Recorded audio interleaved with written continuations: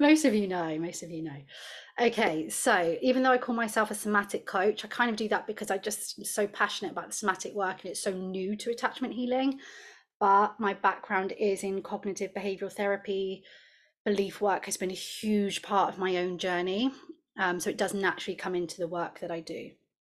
So, what are the core beliefs often of someone with an anxious attachment? And I would love for you guys to share which ones you relate to, like as I go, um, but also afterwards as well. I've lost the chat box. There we go. Thank you, Valentina, for sharing. So, and of course, this is a partial list, so I could go on and on and on. It could be much longer. So, core wounds will include feelings of inadequacy, the expectation of rejection, especially because you might have continued to have that. I've put parent, forgive me, from caregiver, from someone in your early years.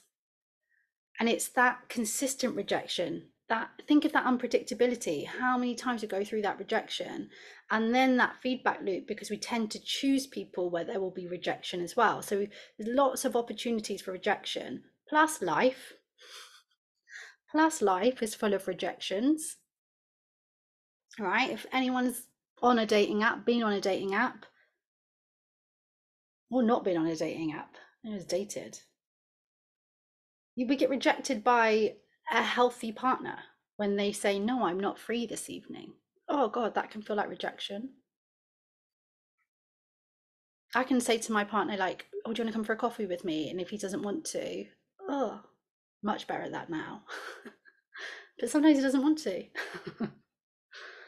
um, doubts own ability to self soothe. Who said that? Somebody said, Susie, I think it was you this to me was like a massive breakthrough when I realized, oh, it's actually even a symptom of anxious attachment. Someone with someone with an anxious attachment doesn't believe that they can soothe themselves. I used to literally think, I can't do it.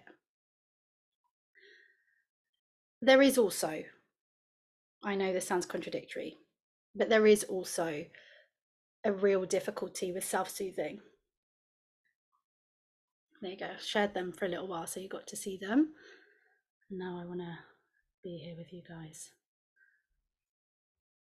So it's like if you've been doing the self love challenge, on one of the days, I shared the double arrow. The double arrow is the first arrow is the negative, the bad, the rubbish thing that happens in our life. The second arrow is how we shame ourselves, beat ourselves up, give ourselves a hard time.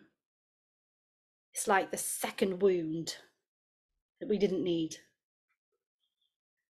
I see this with the self soothing. The first arrow being we do struggle to self soothe. That is a fact. We struggle to regulate ourselves, struggle to think clearly, struggle to stay in the present. And then we beat ourselves up for that.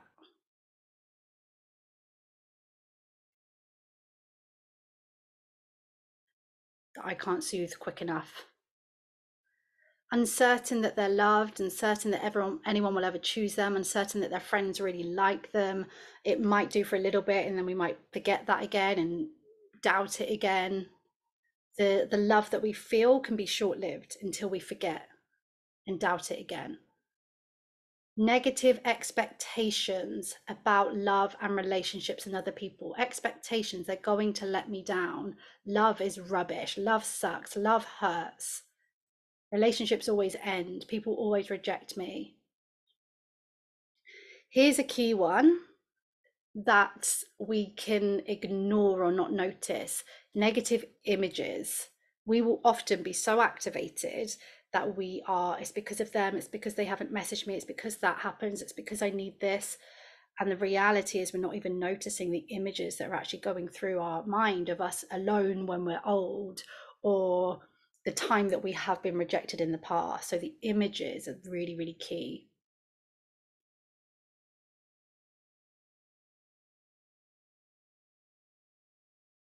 The beliefs that other people are better that know more, that do more, that are more secure. that have the choice over whether we're in a relationship or not. We put so much value on that other person, on what's outside of us. We often feel like we have no choice and no agency because we give it to other people. We forget that we get to decide things too.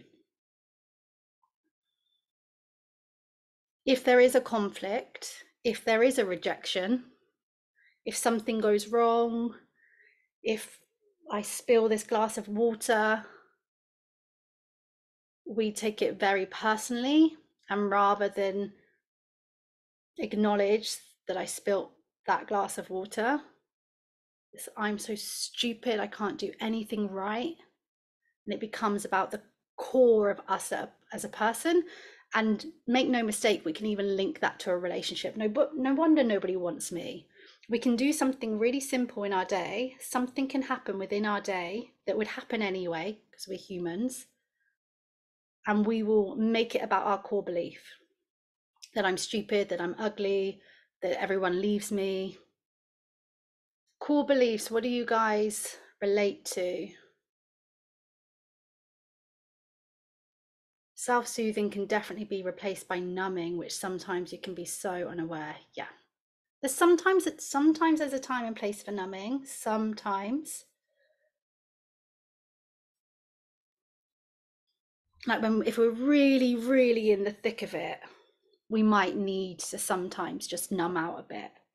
We can choose healthy, unhealthy numbing. What I mean by that is this is no judgment on your strategies, but maybe um, watching, I don't know, binging Netflix might be a healthier option than two bottles of wine. Netflix is awful. It's YouTube for me. I sometimes will still, when I now watch YouTube, it's like I'm, yeah, allowing myself relate to all of them. I think I do as well. Others are better than me, and no one is.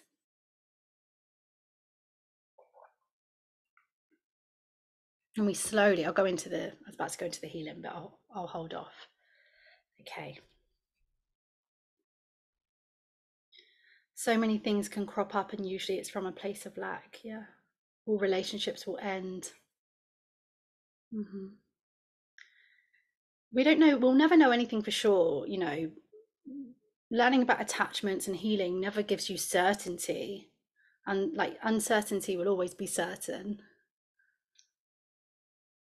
But when we start to develop our secure skill set, which is at the core of what I'm trying to support people with and am supporting people with, it can make it easier to cope.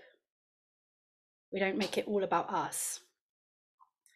And relationship with ourselves never ends. I want to take a moment and let you know a bit more about the attachment recovery gym because so many of you are going to benefit from this space. The Attachment Recovery Gym is an online membership that supports you to get in touch with and exercise your most secure self. You can join this community when you have reached the point where you know so much of the information, yet being able to change and put that into practice is really difficult. You see yourself defaulting back to old, painful patterns. It's an online membership space where you can take everything that you've been learning, that includes all of the things that I'm talking about in this video and my other videos and on my Instagram.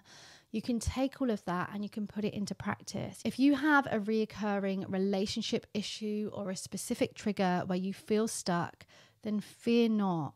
The Attachment Recovery Gym marries three core components that are going to support you to be able to change and self soothe in the moment. That is community, accountability, and education. When you become a member of the Attachment Recovery Gym today, you get immediate access to a library of resources and a schedule of classes that strengthen your secure self, just like you were working on your physical health, because that's something that I believe is really important.